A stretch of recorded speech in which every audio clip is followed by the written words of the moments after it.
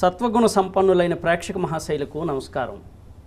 ఈనాటి మన జీవన నాటకం కార్యక్రమానికి అతిథిగా విచ్చేసిన వారు సుప్రసిద్ధ పౌరాణిక రంగస్థల కళాకారులు శ్రీ ఏ వెంకటేశ్వరరావు గారు. వారిని సాదరంగా సగౌరవంగా మన కార్యక్రమానికి ఆహ్వానిద్దాం. వెంకటేశ్వరరావు గారు నమస్కారం అండి. నమస్కారం అండి.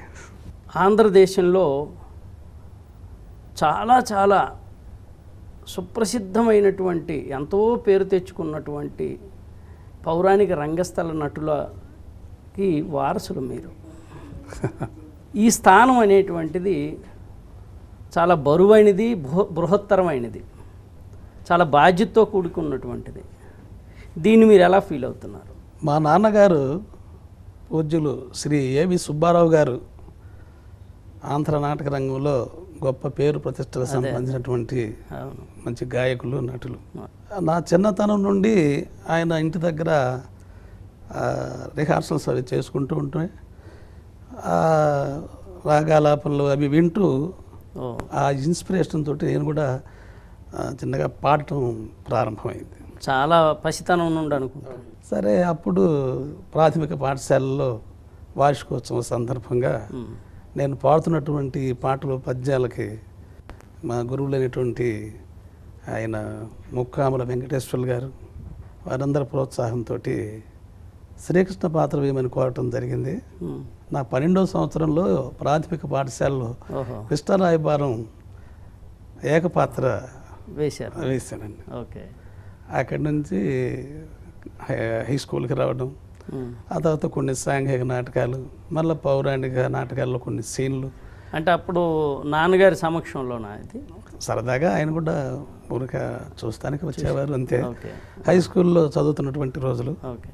హై స్కూల్లో కూడా అలా వేయటం జరిగింది. ఆ తర్వాత అక్కడ ఉన్న ఉపాధ్యాయులకు ప్రోత్సాహంతో కొంచెం నాటకంగా మక్కువతోటి చదువుకుంటూ వస్తున్నాను. ఆ తర్వాత మా స్వగ్రామం అనంతవరం గ్రామం. కొల్లూరు మండలం గుంటూరు జిల్లా.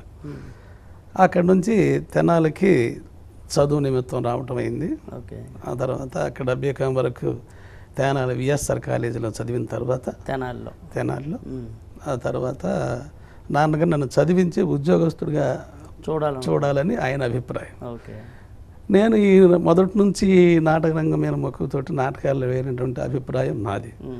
సరే అక్కడ దాంతో నాన్నగారు అన్ని రకాలుగా చెప్పి నువ్వు ఇంకా తర్వాత ఎంకాన్ చెయ్యి లేదంటే ఇక్కడ ఉద్యోగం. చూసుకోమని చెప్తే కాదని చెప్పి నేను ఈ నాటక రంగంలో ప్రవేశించడం జరిగిందండి. అది ఇట్లా కాదు వివాహం చేద్దాం అలా అయితే ఒక దారికి వస్తాడనేటువంటి అభిప్రాయంతో. వివాహం చేసిన దగ్గర నుంచి డెబ్బై తొమ్మిదిలోనే నా కెరీర్ స్టార్ట్ అయిందండి ఇంకా నేను ఈ నాన్నగారి నాటకాలు చూడటానికి వెళ్ళడం. అక్కడ షణ్ముఖ ఆంజనేయరాజు గారు. మహా ఆంధ్ర బాలగంధర్వు. ఆయన పద్యాలు విన్న తర్వాత మనం ఏమైనా నాటకం వేయాలి. ఆయనలాగా మనం కూడా పాడాలి. నాన్నగారు అంత పేరు కూడా మనం దేశంలో తెచ్చుకోవాలన్నటువంటి అభిప్రాయంతో. నాటక రంగంలో ప్రవేశించాను. ఓకే. సరే ఆ తర్వాత అంటే అట్లా సీరియస్గా మీరు అవునండి. దాని మీద రంగస్థలం మీదకి వచ్చిన వచ్చిన తర్వాత వేసినటువంటి మొట్టమొదటి నాటకం కురుక్షేత్రం అండి. కురుక్షేత్రం. నా అదృష్టం కొద్దీ. మా. గ్రామం ప్రక్క గ్రామంలో కటివరం అనేటువంటి ఒక గ్రామం ఉందండి. వీరబ్రహ్మేంద్ర స్వామి ఉత్సవాలు చేస్తూ ఉంటారు. ఓకే. అక్కడ మొట్టమొదటి కృష్ణుడిగా నేను రెండవ కృష్ణుడిగా నాన్నగారు మూడవ కృష్ణుడిగా షణ్ముఖ ఆంజనేయరాజు గారు. నా అదృష్టం కొద్దీ. ఆ రోజు జనం అందరు కూడా ప్రోత్సహించి బాగుంది బాగుంది అన్నారు. సరే అక్కడి నుంచి నేను ఒక తపనగా తీసుకున్నానండి చెప్పటం కాదు. ఇది ఏమైనా సరే సాధించాలి మనం కూడా దీనిలో నువ్వు కాదు అన్నారు కనుక నాన్నగారు మనం పట్టుదలతోటి దీన్ని సాధించాలనేటువంటి. అభిప్రాయంతో గొప్ప తపస్సుతో చాలా విపరీతమైన ప్రాక్టీస్ అండి. చాలా భయంకరమైన ప్రాక్టీస్ చేసి నేను వచ్చాను. ఎందుకంటే నా వాయిస్ కూడా సహకరించదనేటువంటి నానుడి ఉండేది జనంలో ఓకే అందువలన నేను దాని గురించి సాధన చేసి. నా దాన్ని ప్రోత్సాహంతో విష్ణుపట్ల వెంకటేశ్వర్లు గారని. తెనాలిలో మంచి హార్మోని విద్వాంసులు సంగీత విద్వాంసులు సాహిత్యం తెలిసిన వారు ఉన్నారు. నాన్నగారు ఇక తెలుసుకుని మనం చెప్పిన వినేటట్లేరని ఆయన దగ్గర. ప్రోత్సహించారు. వారి ప్రోత్సాహంతో అసలు హార్మోనియం మీద పద్యం ఎలా పాడాలి. అనేటువంటి విధానాన్ని నేర్పినటువంటి మహానుభావుడు మా గురువు గారు విష్ణు భట్ల వెంకటేశ్వర్లు గారు. ఆ తర్వాత సాహిత్యంలో మెళకువలన్నీ కూడా తప్పు ఒప్పులనే సర్దిద్దినటువంటి మహనీయుడు కుప్ప వెంకట కృష్ణయ్య గారని మా స్వగ్రామం అయినటువంటి అనంతపురం గ్రామం. వారి రోజు నాకు పూర్తిగా సహకరించారు.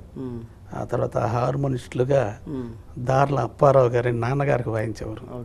ఆయన ఆ తదుపరి సిహెచ్ చంద్రశేఖరరావును చుండూరు గ్రామ వాస్తవ్యులు ఓకే. ఆ తర్వాత కె విశ్వరూపాచారి గారని ఆయన వైదన ప్రకాశం జిల్లా. వారు. ఆ తర్వాత అడ్డాడ వెంకటరమణ. మరి ఆ తర్వాత వీళ్ళందరి ప్రోత్సాహంతో ఈ హార్మోనిస్టులందరి ప్రోత్సాహంతో నేను దీనిని మెలకువలు తెలుసుకుని రంగస్థలాన్ని నేను నమ్ముకుని రంగస్థల కళాకారులుగా. నా జీవితాన్ని ప్రారంభించాను సో ఒక మంచి పౌరాణిక నటులు కావాలి అంటే ఇటు సాహిత్య సంగీతాల రెండింటిలో కూడా పట్టు ఉండాలి పట్టు ఉండాలండి ఈ రెండింటిలో మనకి పట్టు లేనప్పుడు ఓ పరిపూర్ణమైనటువంటి నటులుగా అవునండి. కావటం కష్టం. ఓకే. ఇప్పుడు సంగీతం సాహిత్యం రెండు మిళితం చేసి పద్యం చదువుతూ నాటకీకరణ ఉండాలండి. నాటకం పోకూడదు మళ్ళీ. అదే. నాటకం మనం ఉన్నటువంటి సిచ్యువేషన్లో ఏ సిచ్యువేషన్లో ఉన్నాము ఆ నాటక సందర్భాన్ని చెడకుండా దానికి తగినంత రాగాన్ని తీసుకుని దానికి తగినంత సాహిత్యాన్ని అందించుకుంటూ జనానికి అలా పోకట చేస్తే నాటకాన్ని జనం మర్చిపోలేరంట. ఓకే. అలాంటి ఇది నాకు పెద్దలు నేర్పినటువంటిది అది. నేను దాన్ని ఎక్కువగా ఇప్పటికీ అదే ఇదిలో ఉంటాను. ఇప్పటికీ ఆ పెద్దలు చెప్పినటువంటి ఆ దారిలోనే నేను దానికే ఎక్కువ ప్రాధాన్యత ఇస్తూ ఉంటాను. మీరు ఇప్పటి వరకు ఎన్ని నా ప్రదర్శనలు ఇచ్చి ఉంటారు? దాదాపు నాలుగు వేల ప్రదర్శనలు అండి నాలుగు వేల నాలుగు వేల ప్రదర్శనలు.